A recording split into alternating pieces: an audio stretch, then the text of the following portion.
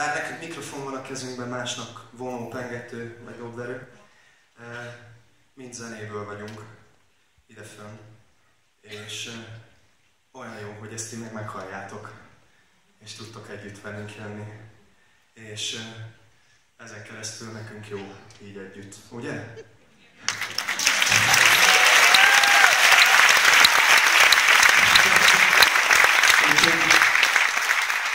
Zongorán újra szól egy dal, az mindig csodálatos.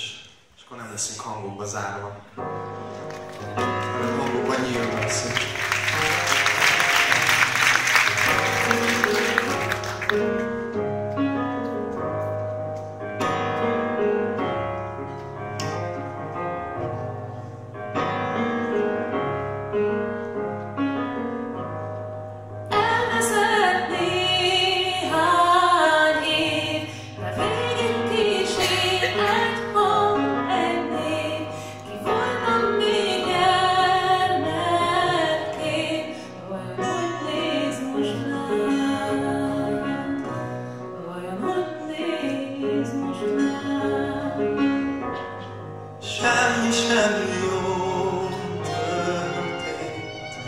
a montón porque